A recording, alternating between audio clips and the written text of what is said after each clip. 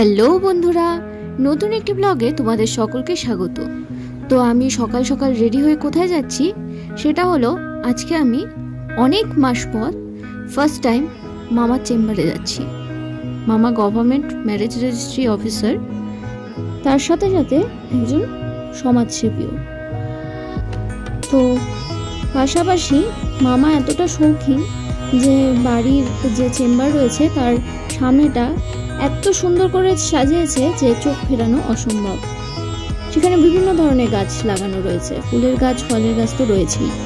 তো যাই হোক, এটা চেম্বারের সামনেটা এবার চেম্বারের ভেতরে যাব, যেখানে পিয়ালিদি এবং আজাদা মতো এমপ্লয়ার কাজ করেন। তো সেখানে আমি অ্যাজ আ ইন্টার্নি চলে এসেছি। আর হ্যাঁ আমার অফিসের অ্যাড্রেসটা হলো satellite township post office, battalion মোড়ের সামনে, যে কাউকে বললেই চিনিয়ে দেবে।